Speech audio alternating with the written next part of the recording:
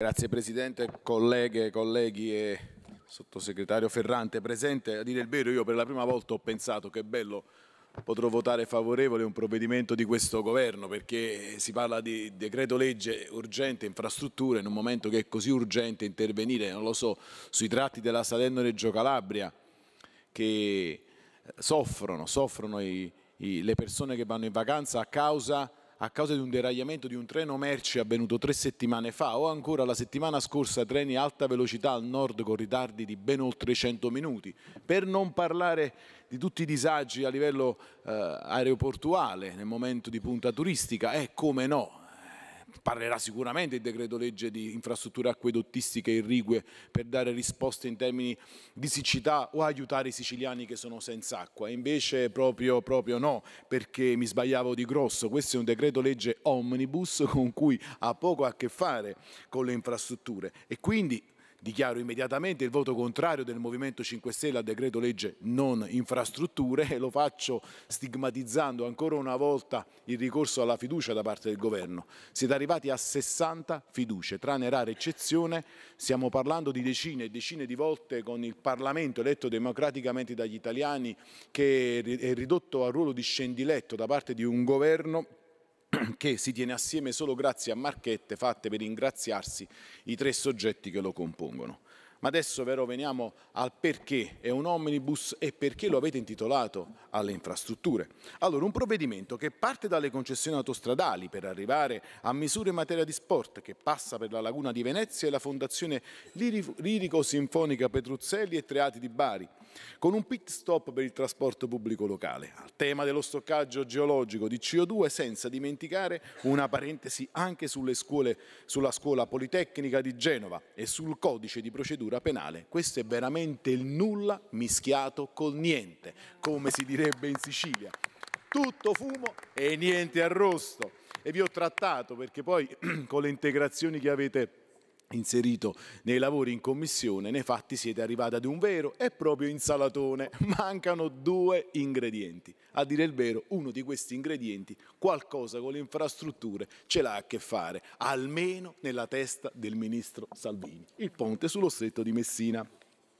E in vero si è capito quindi a cosa serviva questo decreto legge. Eh, Salvini aveva detto che i lavori avrebbero avuto inizio entro l'estate del 2024. E come fa Salvini a non rispettare la sua parola? Fa niente che non ci sia il progetto esecutivo, non ci sia il piano di espropri, non ci siano le indagini dettagliate, non ci sia lo studio del gigantismo navale. Non fa niente che la società dello Stretto di Messina SPA non abbia ancora risposto alle 239, 239 integrazioni che le ha fatto il Ministero dell'Ambiente per la Sicurezza Energetica solo nell'aprile del 2024. Avete sentito bene, questo decreto legge fa sì che i cantieri possano avviarsi senza il progetto esecutivo. Lo stesso ponte con cui voi nel decreto ponte dell'anno scorso avevate detto che il progetto esecutivo doveva essere pronto entro il 31 luglio del 2024. Ma Salvini è uomo di parola e non potendo varare un calendario leghista che gli consentisse di dire a caso i giorni, i mesi e l'anno, beh, lo metto dopo e più tardi, che fa? Con questo decreto legge autorizza il MIT ad approvare il progetto esecutivo testualmente anche per fasi costruttive. In sostanza si possono avviare i cantieri e rimandare l'approvazione dei progetti esecutivi alla fase di lavoro in corso.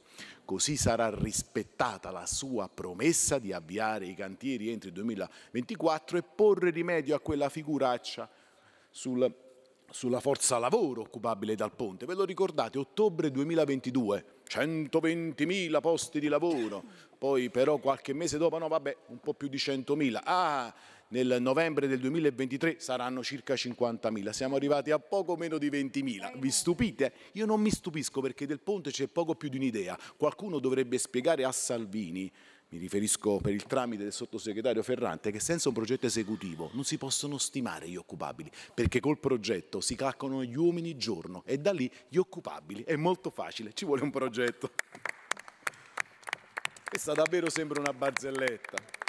E probabilmente così la percepiranno in Europa, visto che iniziano a venire alla luce con certezza alcune lacune. La prima, come si fa a parlare del costo complessivo di un'opera se non esiste un progetto? Ricordo a tutti che non esiste un progetto definitivo approvato, che siamo in attesa delle risultanze della VIA e della VAS. La seconda, si rimanda ad uno spezzatino di progetti esecutivi distinti per cantieri, come se parti del ponte sullo stretto potessero essere realizzati come lotti funzionalmente indipendenti. Ma stiamo scherzando. Ma il ponte sullo stretto, come tutti gli altri ponti, non si può realizzare per lotti, perché non è mica un'autostrada che tu inizi a realizzarla, finisci una tratta e mentre continui col resto dell'autostrada, quella tratta la apri da casello a casello e inizi ad usarla. Non è mica un palazzo di più piani che le persone iniziano a costruire il grezzo, una volta finito terminano un piano, iniziano a vivere, finiscono i soldini e dice più in là finirò tutto il palazzo. Ecco, Salvini sta creando tutte le premesse per produrre, qualora questa barzelletta dovesse iniziare a diventare realtà, la più grande incompiuta della storia della Repubblica Italiana. Anzi, aggiungo, questa sarà un'incompiuta per stralci, perché vuoi vedere una quindicina di metri la facciamo come pilone sulla costa calabrese, una ventina su quella siciliana, che ne so, un bel faraglione in mezzo allo stretto. Ce l'ha Capri il faraglione per Salvini, non lo può avere anche lo, anche lo stretto di Messina. Vabbè, già la scorsa settimana noi eravamo molti, molto preoccupati perché ci siamo dovuti piegare alla vostra volontà di, di eh, lasciare da soli i comuni perché venivano esclusi dal condizionare le sanatorie al rispetto della normativa di igiene, di salubrità, di efficientamento energetico, di abbattimento delle barriere architettoniche. Era proprio nulla rispetto ad oggi quando si possono aprire cantieri senza progetti. Allora gli italiani si sta, staranno domandando, ah perché devo spendere soldi per predisporre un progetto dal mio ingegnere, dall'architetto, dal geometra, per avere, per richiedere un permesso a costruire, quando lo Stato non richiede il progetto per la più grande opera del Paese? Perché? Ecco, Forse così sì che state continuando nel vostro solco di illegalità. Tra poco arriverete ad autorizzare i cittadini non col progetto a costruire, ma semplicemente con un'idea di costruire e poi arrivate alla fine dei lavori, anziché un progetto gli date direttamente la sanatoria. Assurdo anche quello che avete combinato con il piano, con il piano Mattei. Mi spiace dirlo, anch'esso è poco più di un'idea. Innanzitutto lo schema prevede l'avvio del piano Mattei senza che esso passi preventivamente eh, per, per, le Camere e come hanno dichiarato praticamente tutti i soggetti auditi in commissione sul tema del piano Mattei si fa beffe della trasparenza. Ma andiamo nel dettaglio. Che cosa combinate? Voi andate a prendere i soldi dal Fondo Italiano per il Clima e dalle risorse della cooperazione allo sviluppo e in particolare il primo fondo, il Fondo Italiano per il Clima, è un fondo che è stato supportato da tutti i principali partiti della scorsa legislatura, tranne che da Fratelli d'Italia, che è un fondo che serve per finanziare progetti di contrasto ai cambiamenti climatici nei paesi in via di sviluppo. Ecco voi cosa fate? Prendete parte di quelle risorse, non si sa quanto è perché mica lo dichiarate, prendete prendete parte di queste risorse e le utilizzate anche per interventi come estrazione di oil and gas, quindi voi usate fondi che servono per tutelare il clima per interventi che servono per svantaggiare, per attaccare, per distruggere il clima. Anche in questo caso è un vero e proprio disastro annunciato.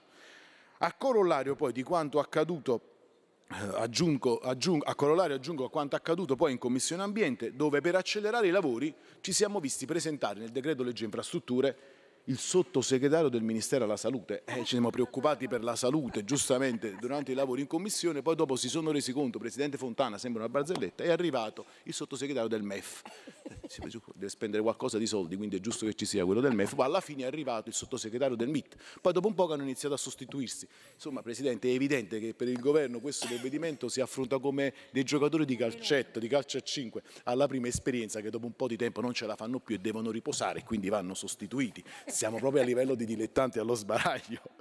Ma la cosa drammatica è che sia per il ponte sullo stretto che per il piano Mattei avete bocciato delle proposte del, in commissione da parte delle opposizioni che servivano ad una cosa semplice, dare dignità al Parlamento. Soprattutto eh, per quanto riguarda il ponte sullo stretto abbiamo chiesto di trasmettere ogni sei mesi alle commissioni di competenza un'informativa di aggiornamento, non la richiesta di un parere, un'autorizzazione, un aggiornamento. E infatti abbiamo detto al Presidente di Commissione, ma allora sta Commissione a che cosa serve se non può essere nemmeno aggiornato sul ponte sullo stretto su Piano Mattei. Noi non possiamo girarci dall'altra parte e rimanere in silenzio dinanzi a cotanta sete di interesse di partito, intendendo proprio interesse delle parti. Voi non lo farete in nostro nome. Grazie.